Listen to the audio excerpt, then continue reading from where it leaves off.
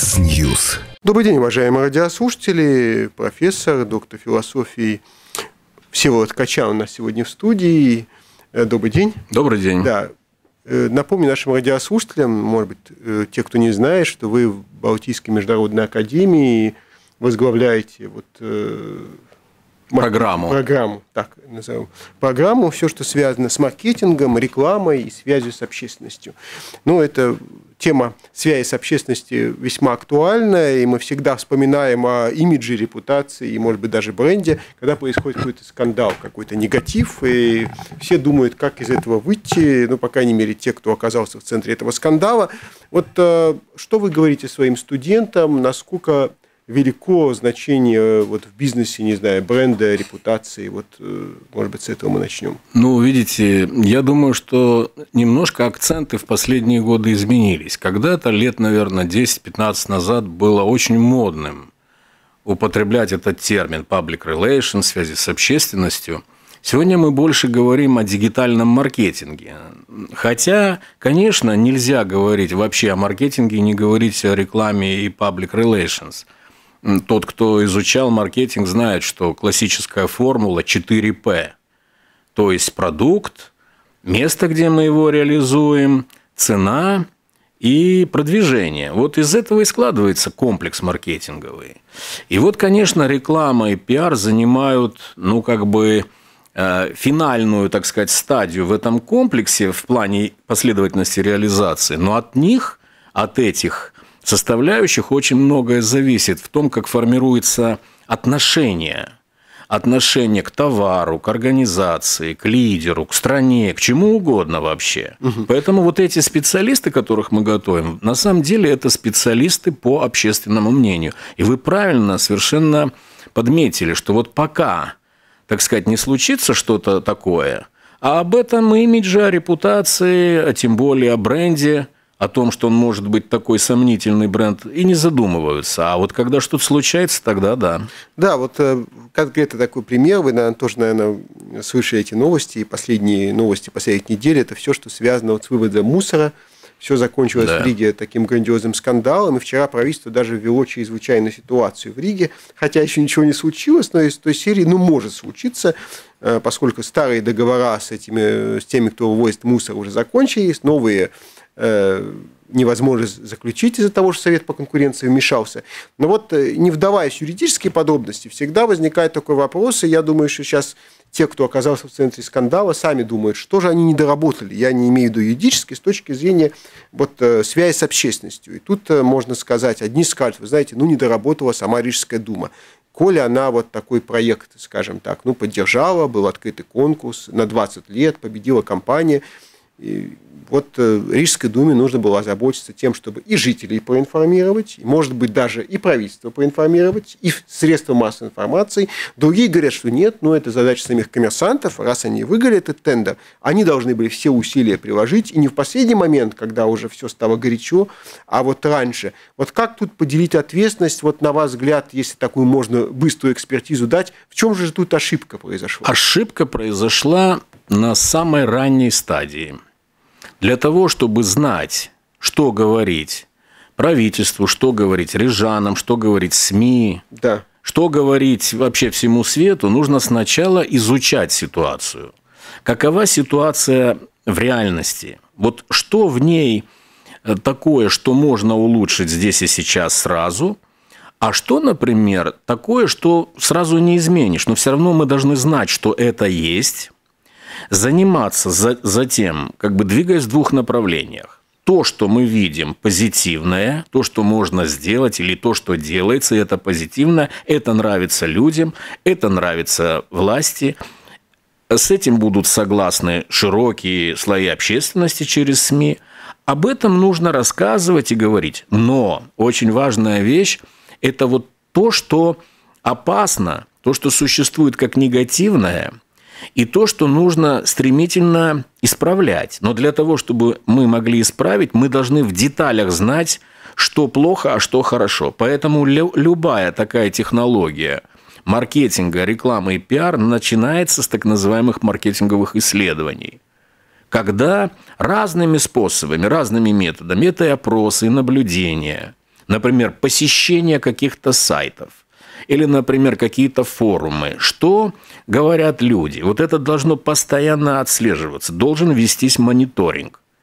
Но как раз в этом-то вся и загвоздка, что очень часто руководители стремятся сэкономить на этом, думая, что они и так это знают.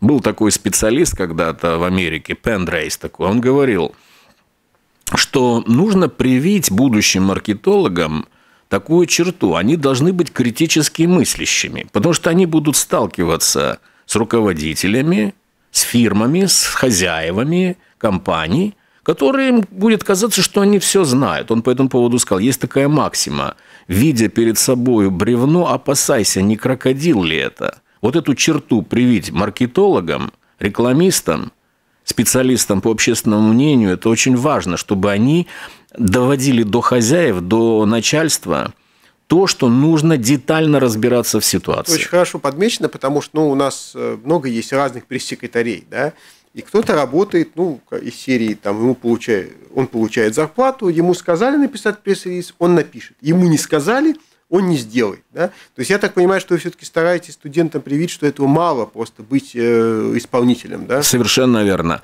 Вот э, недавно были опубликованы новые исследования того, как развивается в мире маркетинг. Ну, э, обычно многое говорят о том, что вот как нужно креативно подходить, придумывать всякие способы, как заинтересовать. Это, это все замечательно, это действительно важно.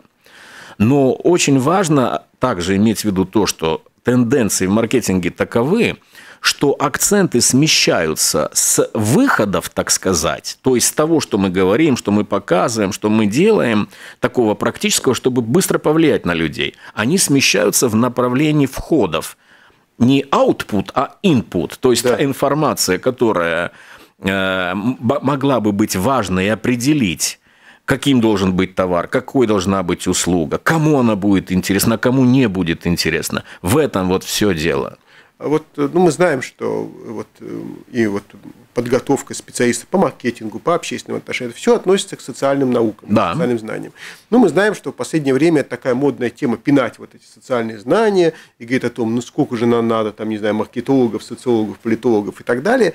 Но вот э, все-таки, вот как вы чувствуете, и вы наверное, общаетесь потом с выпускниками, вот те, кто заканчивает вашу программу, они находят работу по специальности? Аби, все работают так или иначе по специальности. Причем именно по направлению маркетинг, реклама. это востребовано? Это востребовано. Это мало сказать востребовано. Вот мы недавно провели анализ работ, которые защищаются ну, направлении, допустим, управления бизнесом.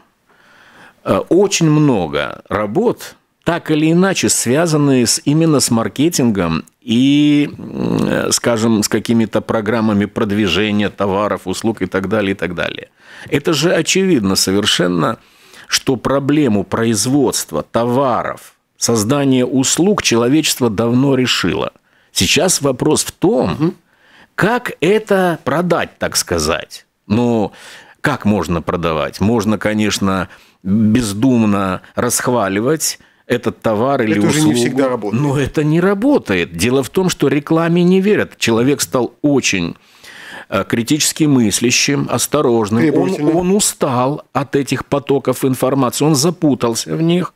И поэтому сейчас важно как раз другое. Важно, чтобы он получал правдивую информацию, очень адресно, э, по поводу того, что вот сейчас именно, допустим, могло бы быть ему интересно, и в этом направлении развивается маркетинг, так называемый дигитальный маркетинг. Поэтому мы в этом году наверное, одни из немногих э, в Латвии, кто открыли модуль специализации в рамках нашей программы, который назвали «Дигитальный маркетинг». Век сейчас такой, да. А в чем особенности дигитального маркетинга? Чем он отличается от обычного? Ну, дигитальный маркетинг – это общение и изучение целевых групп любых путем использования средств интернета, э, мобильной связи. Ну, То есть любое сети, посещение, да? любое посещение человека оставляет след. То есть э, фиксируется, да. кто это был, какие у него интересы, и тогда можно делать отклик на это. таким образом получается, что эти новые ресурсы, они позволяют не только экранные ресурсы продвигать, товары, продукты, какие-то организации, идеи, все что угодно. Но они же являются одновременно как раз тем, о чем мы говорили с вами только что, средством мониторинга общественного мнения, интереса, ожиданий, потребностей людей. В этом все дело сейчас. Да, но если мы говорим, если еще такой, может так потребить такой термин, такой глобальный маркетинг, ну, даже не маркетинг, даже глобальная там связь с общественностью, ну, вот, к примеру, правительство сейчас очень такой яркий пример идет э, дискуссии по бюджету. Ну, это всегда, угу. особенно сейчас, когда там новое правительство, новый парламент, такой уже первый не технический бюджет, а полноценный. И вот, э, я так понимаю, у политиков тоже всегда возникает дилемма. С одной стороны, там век открытости, пять партий, они между собой конкурируют, одна боится, что если она промолчит, другая расскажет, вот им и они проиграют в этом плане, да, они будут все время играть как бы вот э, уже на вторых ролях. И уже господин Кайнш, премьер-министр, постоянно повторяет знаменитое выражение, по-моему, Бисмарка о том, что вот та же, как колбасу всем не показывают, как ее делают, так, в принципе, и бюджет или политику не все нужно показывать. И тут возникает, наверное, дилемма, может быть, и даже для специалистов по общественным отношениям, а что в этой ситуации делать? Или, может быть, действительно э, не выносить до поры до времени, пока о чем-то не договорились ссоры из избы, да, чтобы там не портить репутацию, с одной стороны, или рассказывать все открыто, ну да, есть, конечно, в этом и какой-то негативный момент, но, по крайней мере, публику подготовить к чему-то ну, может быть, принятию, что называется, непопулярных решений. Вот как поступить в этой ситуации? Ну, очень интересный вопрос, мне кажется, такой фундаментальный. Он касается, я думаю, как политики, так да. и вообще любой ситуации. Любой, да. любой ситуации. Безусловно, конечно, когда мы говорим, что вот эта открытость, прозрачность, это великая ценность в установлении э, межличностных, э, меж корпоративных и прочих Между отношений. Властью, да, да, да, да. Есть такая теория социального обмена. Вот эта теория является основой вот такого подхода, что надо быть открытым. Дескать, я встретил моего журналиста, да. я ему улыбнулся, он мне улыбнулся. Произошел обмен. Устанавливается социальный контакт, который перерастает взаимоуважительные социальные отношения и так теории, далее. Да. да. И с одной стороны, казалось бы, это так. Но мы же прекрасно понимаем, что на самом деле, на самом деле есть конкуренция.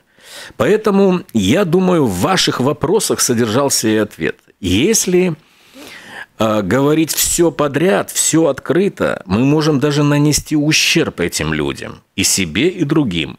А себе наносить ущерб – это просто глупо. Следовательно, получается, нельзя быть абсолютно открытым во всем, и, и прежде всего, конечно, когда речь идет об интересах очень многих, потому что правительство так или иначе, но все-таки заботится о большинстве. Это один такой момент. С другой стороны, конечно, то, что можно говорить, нужно говорить и еще подчеркну здесь, с какой целью? С целью – взаимного какого-то обмена информацией для поиска наиболее оптимального решения. И если такие отношения будут даже среди конкурентов, то есть взаимоуваж... взаимоуважительные отношения, партнерские отношения. Да, вот, ну пока мы это не всегда да. Да, Политика, да. наверное, с этим сложно. Хотя, как мы знаем, президент соседнего государства большого постоянно говорит, наши западные партнеры, наши западные партнеры. Да. Я думаю, его консультанты по Public Relations научили ему, его этому. Дело в том, что бывают разные отношения. Бывают асимметричные и симметричные. Вот партнерские – это симметричные. Он Среди... все время говорит, никакие там наши конкуренты, да, да, противники. Да, да. именно партнеры. партнеры да. Потому что он прекрасно понимает, что складываются балансы интересов. И если этого баланса нет, если одна сторона хочет перетянуть на себя одеяло слишком много, возникает деформация, асимметрия. А это идет в разрез со всеми вот этими принципами, о которых мы говорили. Устойчивые, взаимовыгодные отношения могут быть тогда, когда есть взаимоуважение. Вот по, по, похоже, похоже так. Да, вот э, еще есть такие аспекты имиджа и репутации, может быть. Ну, если это конкретно примере, ну, мы знаем партию единства, э, которая на каком-то этапе уже чуть ли не похоронили. Потом они сделали так называемый ребрендинг, да, то есть они поменяли название, попытались даже там поменять имидж, поменяли э, лидеров, но это сработало. как в долгосрочном плане мы еще пока не знаем, но вроде бы сработало. Им даже удалось, имея самую маленькую фракцию, получить э, премьерский пост. И вот всегда, наверное, возникает такая дилемма. Вот если, условно говоря, репутация испорчена, как поступить? Ну, видимо, есть три варианта. Закрыть, условно говоря, контору, да, до лучших времен. Есть второй вариант э, сделать вот такой ребрендинг, поменять название, обновить руководство – то есть не мебель менять, как в том анекдоте, да. да? Есть, конечно, третий вариант, э, не знаю, э, так все поменять, что на 180 градусов. То есть и программу, и вообще название, да, то есть, ну, взять там актив, да, или там в бизнесе взять партнеров, уйти, создать вместо фирмы X фирму Y, да, вот когда это нужно делать, когда еще есть возможность сделать ребрендинг, а когда репутация так испорчена, что бесполезно это будет там новое единство, старое единство, без разницы. Ну, должен сказать, что здесь надо вот с этими терминами разобраться, потому что если, понимаете, каждый термин, он фиксирует какой-то смысл. Да. То есть мы вкладываем в него смысл. Вот эти термины имидж, репутация и бренд, они взаимосвязаны, и между ними вот складывается такой треугольник. А, как бы забота ежедневная об имидже, неважно, лидера, индивида, организации или те, которые продают товар, борьба за имидж ежедневная, ежечасная, она является такой накопительной работой. То есть создается основа для формирования устойчивого имиджа. Что такое имидж? Имидж – это образ. Где он, этот образ? В сознании людей. И когда образ сегодня хороший, завтра хороший, то формируется устойчивый хороший образ, который таким образом и осознается и индивидами, и социальными группами, и он плавно, так сказать, перерастает в репутацию позитивную. То есть, короче говоря, борьба за ежедневная борьба за позитивный имидж выльется, вероятнее всего, в хорошую репутацию.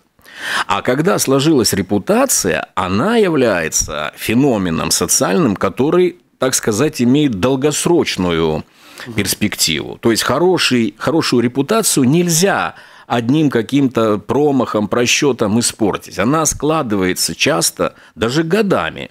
Или даже десятилетиями. Вы можете себе представить, что в Швеции, например, есть программы пиаровские – которые длятся десятилетиями. Например, они сформировали репутацию э, шведов как народа своего, который заботится о лесах своих. Леса там растут не так быстро, как у нас. Скалистая почва. Да, и репутация и, создалась. И репутация создалась. Теперь, когда есть репутация позитивная, она, конечно, требует кое-каких еще таких знаков. Вот этот знак и является тем, что дает поток ассоциаций в сознании, это называется бренд. Бренд – это состояние души людей, а не значок. Значок – это только, как бы сказать, крючок, на который репутация вот цепляется, что ли. Поэтому, конечно, знак важен. Раскручивать знак, там, лого. Да, но, но то, что за ним стоит, это, Но наверное, самое вот важное, абсолютно. конечно. Поэтому я студентам иногда говорю, вот скажите, я вам сейчас... И я рисую обычно на доске значок Opel, значок Volkswagen, Audi... Audi, BMW и Mercedes. И прошу расставить рейтинги этим значкам. Знаете, к сожалению, оказывается, Opel всегда на последнем месте да, у я... этого значка. Почему? Да потому что непонятно по каким причинам, но у нас сложилась не очень хорошая репутация у да. Opel. Хотя это, конечно, скорее всего, какой-то стереотип заблуждения. Потому что ну, многие, кто ездит, так особенно не жалуются. Да? Но... но что касается того, что если репутация, например, вот стала такой, какой стала, ну, разрушена она, ну что дальше? Тут есть варианты. Дело в том, что тут есть специальные технологии. Например, то, что имидж должен быть пластическим. Что это означает? Это означает, что вот у этой партии, которая потеряла свое место, ей что-то от старого своего состояния надо сохранить позитивно и на этой основе наращивать что-то новое. Опять же, говоря, говорю, бороться ежедневно за свой позитивный имидж. Угу. Всеволод Качан, профессор, у нас э, в студии. Прервемся буквально на пару минут рекламы, потом вернемся в студию. Mix News. Продолжаем работу в прямом эфире. Э, профессор, доктор философии, руководитель программы маркетинга, рекламы, связи с общественностью Балтийской международной академии. Еще раз добрый день. Вот добрый день. Э, все-таки такой вопрос хотел задать. я думаю, что, надеюсь, это слушают и многие выпускники Балтийской международной академии, и, кстати, те, кто слушал ваши лекции в Латвийском университете, да, ну вот философия относится к тем предметам, которые многие студенты боятся, не будем скрывать, потому что ну, все-таки э, какие-то знаменитые высказывания философов, какие-то основы философии надо знать для того, чтобы вообще сдать предмет э, философии. Все-таки, поскольку вы действительно для вас родной предмет, вы преподаете много лет, все-таки вот вот если философски посмотреть на мир, вот, я не знаю, есть две концепции, и они, наверное, применимы к общественным отношениям, что люди все-таки с течением времени меняются, я не имею в виду по одежде, да, меняются. Есть другая, наверное, концепция, может быть, даже философская, что, в принципе, ну, человечество за эти века, в принципе, в основных своих там, появлениях не изменилось. Да, ну, может быть, мы сейчас, не знаю, не варвары, там не едим людей, так сказать, и так далее, но, в принципе, не знаю, привычки, подходы, взаимоотношения, они вот не поменялись. Вот если так вот философски на это посмотреть, это, какая концепция вам более близка? Ну, видите, если говорить о моем философском отношении к жизни, к миру да. и вот к таким серьезным идеям, о которых вы сейчас спросили, я, во-первых, должен сказать, что я приверженец э, философии Карла Поппера – Э, который был, как известно, критическим рационалистом. Что это означает, критический рационализм? Это означает следующее, что любая идея, которую выдвигает человек, она зависит не только от того, какая была у этой идеи эмпирическая основа, то есть какая фактическая информация легла в основание этого, да. личный опыт или там наблюдение чего-то. Она всегда, эта идея, содержит еще и момент определенной вот интуиции человека, связанной с более широким опытом. Итак, короче говоря, любая идея в момент ее выдвижения, она не бывает идеальной, она всегда чуть-чуть, так сказать, ущербна. Так называемый принцип фалибилизма. Это означает, что любую идею мы можем улучшать, совершенствовать. Надо сказать, что Поппер говорит э, в этом смысле только об идеях. Но мы можем, я думаю, это отнести и к самим процессам. То есть я думаю, что теория эволюции, или лучше говорить гипотеза или принцип да. эволюции, он, безусловно, а, так сказать, работает. Реальность такова, что мир меняется, безусловно. И люди все-таки меняются. И люди меняются. Человек живет дольше, человек больше знает и тому подобное. Вместе с тем, вместе с тем, что касается, например, нравственности человеческой, ну вот в, в самых базовых принципах, социально-нравственных запретов, ну, здесь, наверное, какая-то инвариантная структура все-таки сохраняется. Но вместе с тем, надо сказать, что и там, по-видимому, происходит изменение, просто не да? так динамично. Вот представьте себе,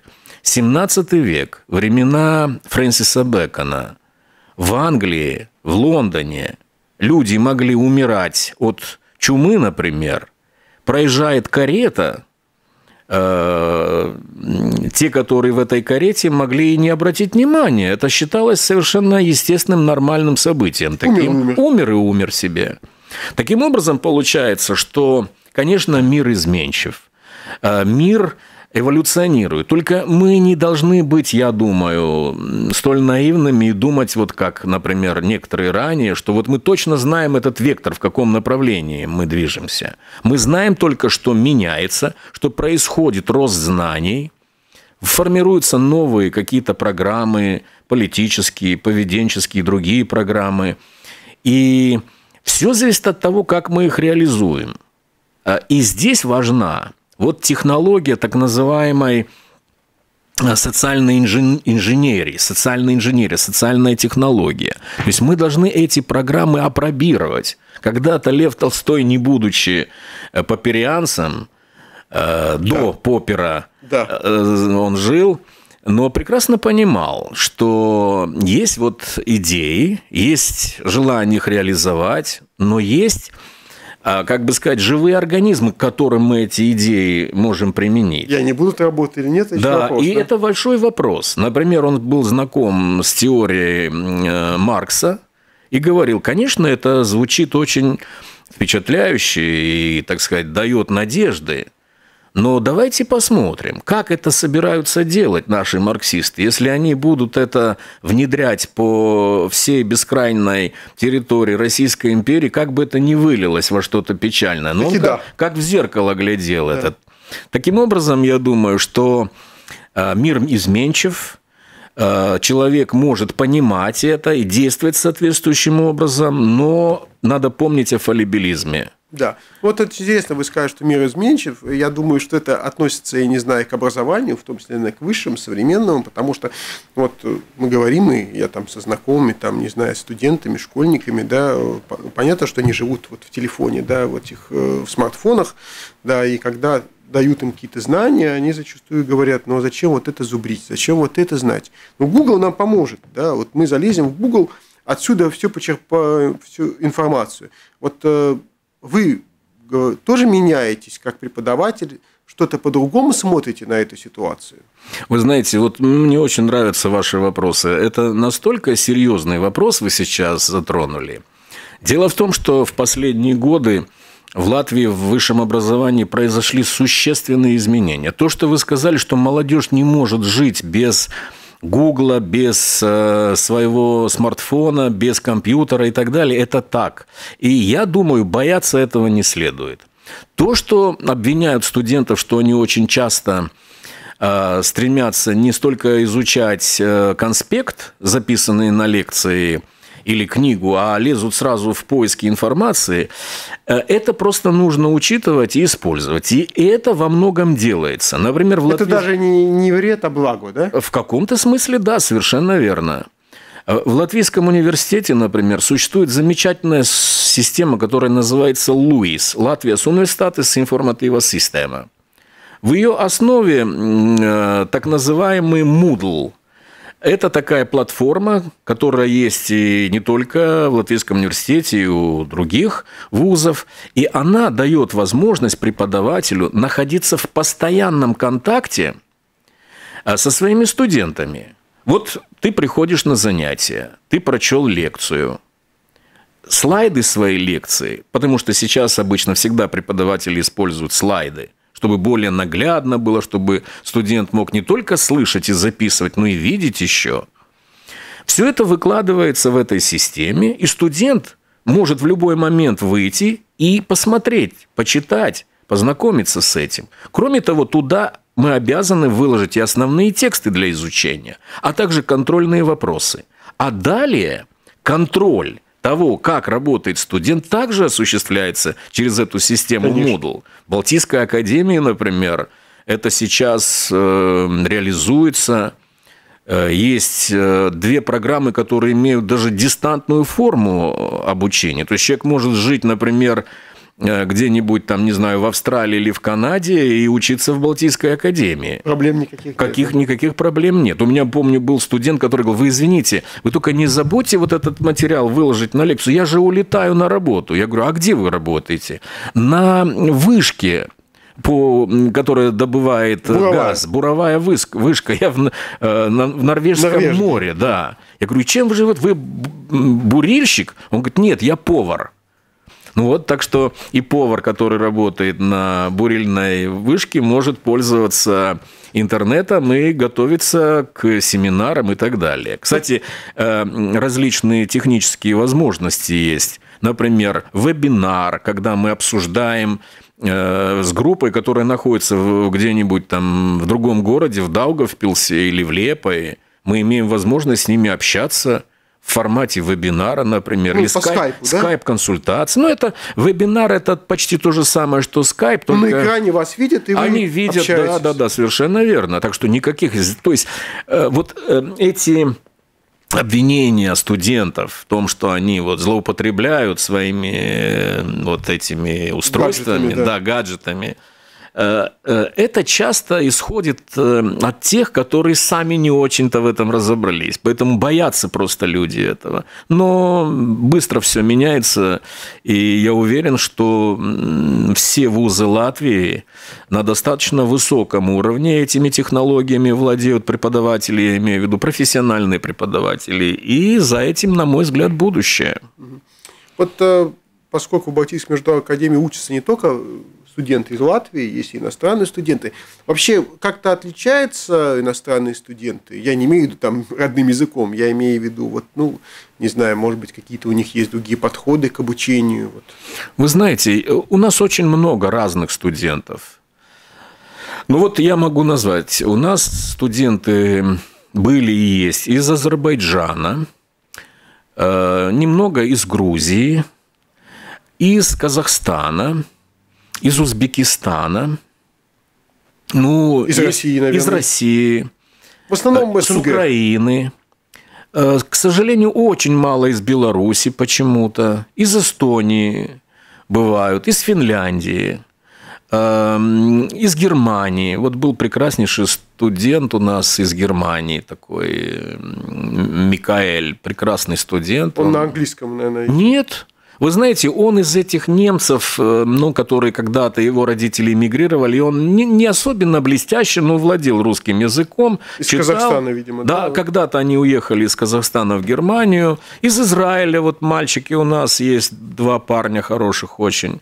Я не замечаю никаких особых таких, знаете, ну, каких-то Различий, этнических да? или каких-то там других особенностей. Они достаточно дисциплинированы. Вот мне кажется, вот это, пожалуй, их отличает всех иностранцев, что они понимают, что э, они не могут здесь, ну, оступиться, потому что это слишком дорого стоит, приехать в Латвию, учиться здесь. Поэтому они очень добросовестно относятся к занятиям, выполняют все, в общем-то, знаете, это, я думаю, для Латвии большая перспектива. Должен сказать, что в университете Страдания, по моим сведениям, очень много студентов, прежде всего из Европы. Из Европы, из Германии. Из Германии, да. Вот э, возвращаясь, может быть, э, к тому, с чего мы начали, об общественных отношениях, ну, я понимаю, что вы готовитесь, так можно сказать, вот общественные специалисты public relations широкого смысла, потому что мы никогда не знаем, где человек будет работать. Совершенно кто-то верно. в министерстве, кто-то в частной фирме, кто-то, может быть, не знаю, в правительстве, кто-то будет помогать политикам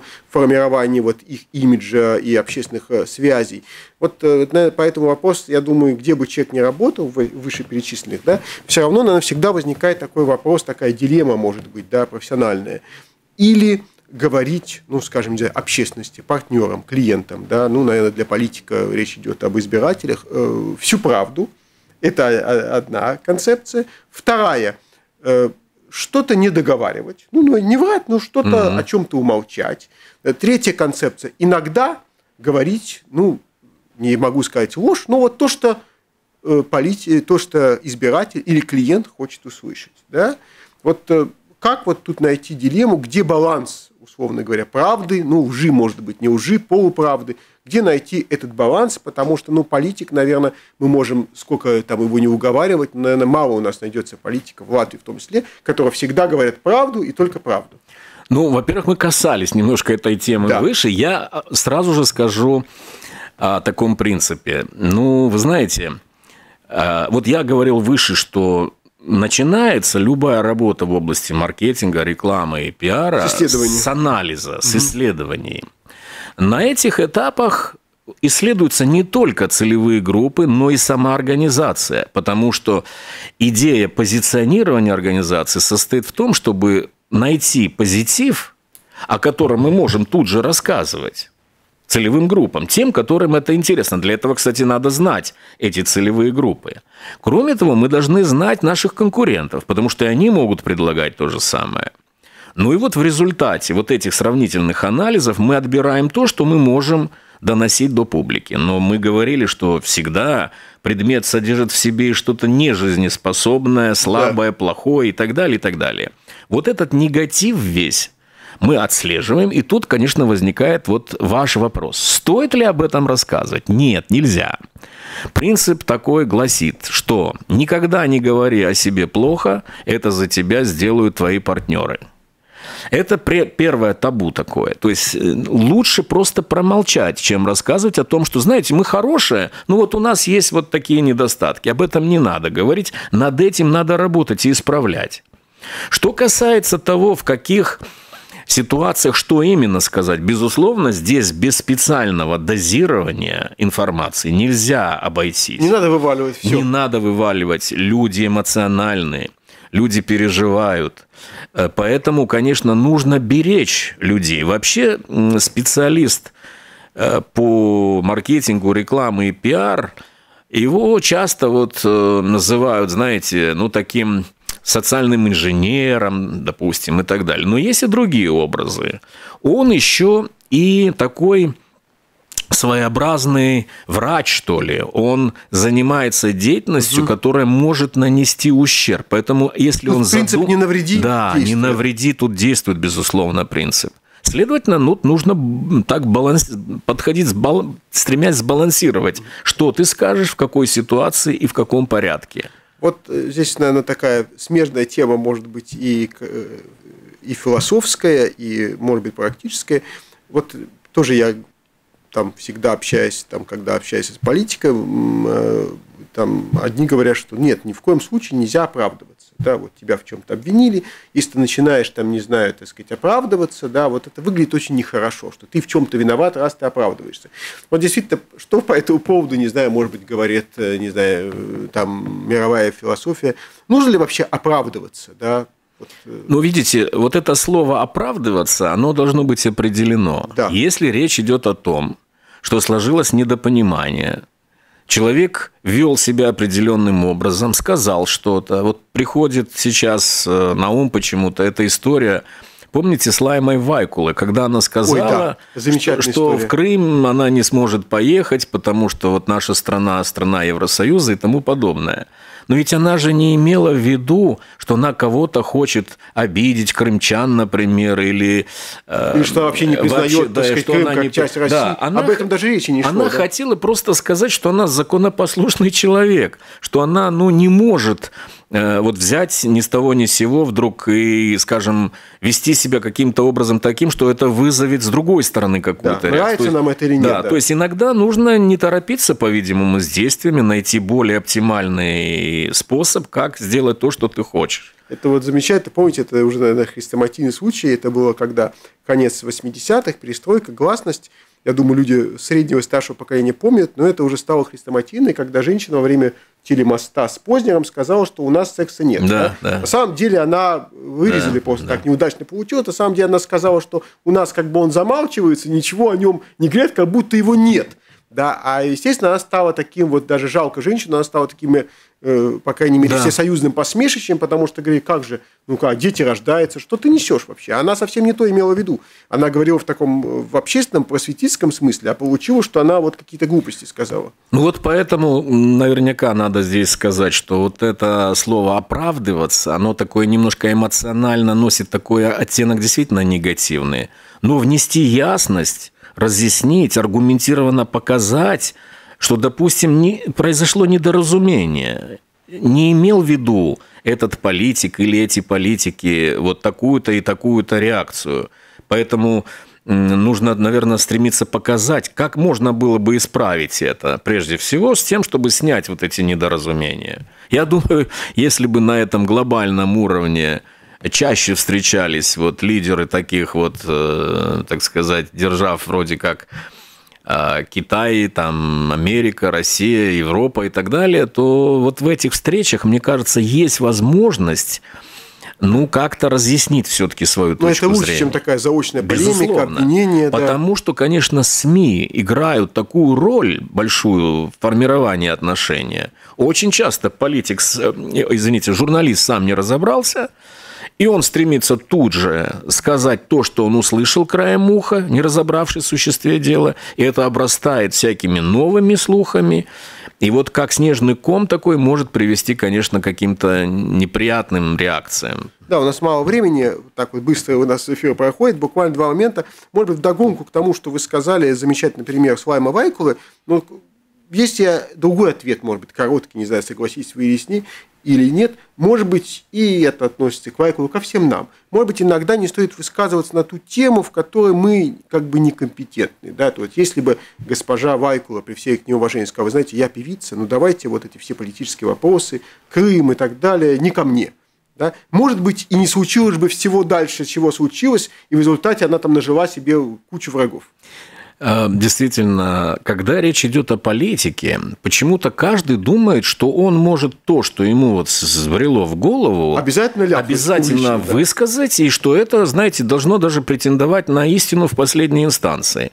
Эти ситуации социальные, я имею в виду социально-политические, наиболее сложные. Вообще социальная реальность самая сложная. Почему-то думают многие, что вот раз этот выпускник физик или там математик, значит, он умнее, например, выпускника э, маркетолога, э, социолога или политолога. Это очень э, спорно, момент, так да. говорить, потому что социальная реальность, она же значительно сложнее. Вы представьте себе, появляется в социальной группе лидер какой-то новый, и сразу ситуация меняется.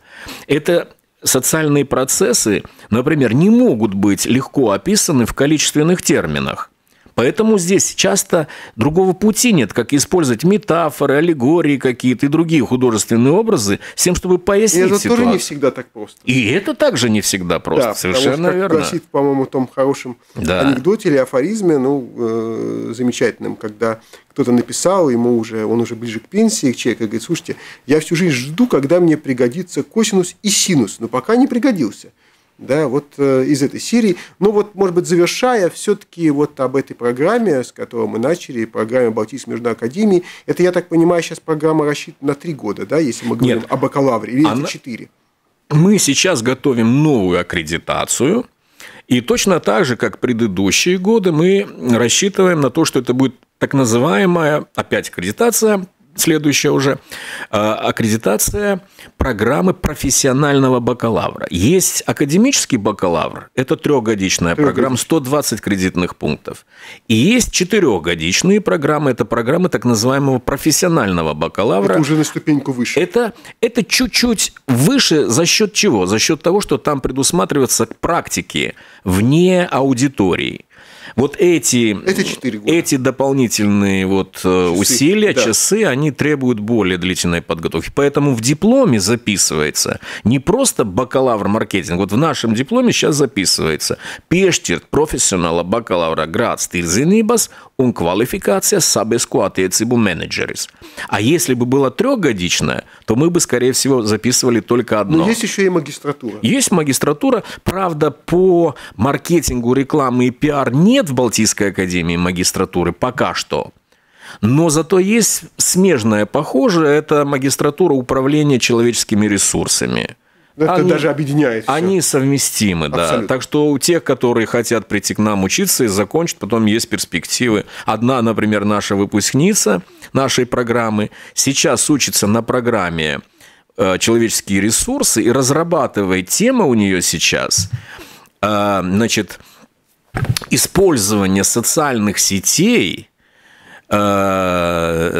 русской православной церковью Латвии. Можете себе представить? Невероятно, да? Да, да. Оказывается, это целая... Да, это целая технология, и вот она видит, как большой интерес к этому, но часто очень э, недостаточно информации, скажем, на сайте Русской Православной Церкви Латвийской, и вот она хочет внести свой вклад, изучает, как это делают другие церкви, церкви их будет разрабатывать проект оптимизации работы этих ресурсов этой церкви. Профессор Всеволод Качан у нас был в студии. Большое спасибо. Большое вам спасибо.